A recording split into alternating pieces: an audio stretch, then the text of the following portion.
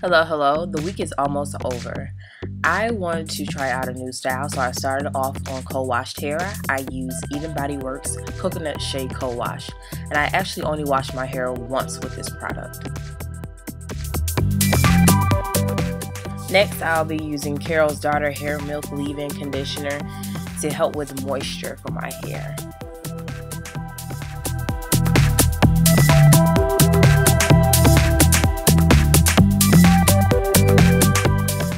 To help with my side flat twist, I'm going to be using Curls Cashmere Curl Jelly.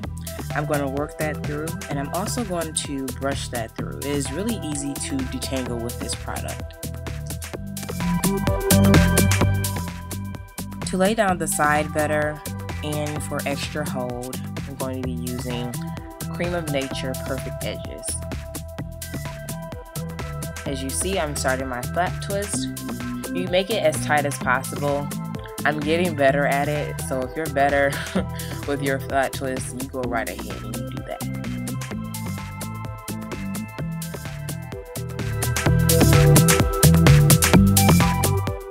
To make this process easier for me, I actually two strand twist the other side so that when I'm coming over to combine the braid, it's easier for me to do so.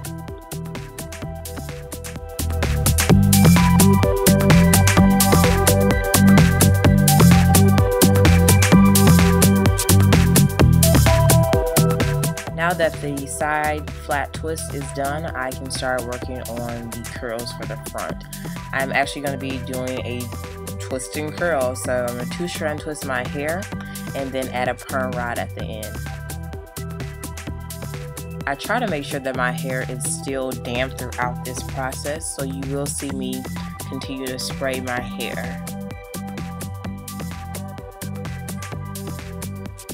This time around, I actually didn't go all the way up the twist because I wanted to keep the length at the bottom of my hair.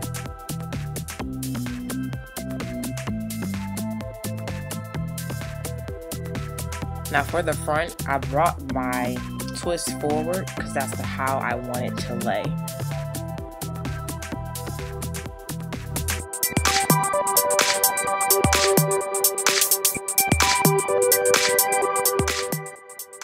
For the twist in the back, I'm going to bantu knot it for now, just to get it out the way.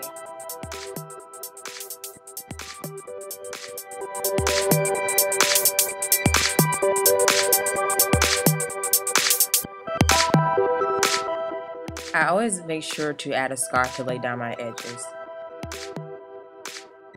Okay, honesty moment. The hair that was set with the gray perm rods were still damp. So that I wouldn't have as much frizz, I did only separate those twists that one time.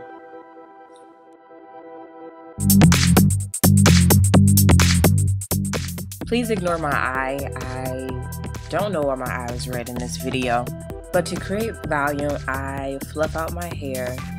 Also, I want the front pieces to hang a little bit lower, so I'm going to use a bobby pin to stretch that out.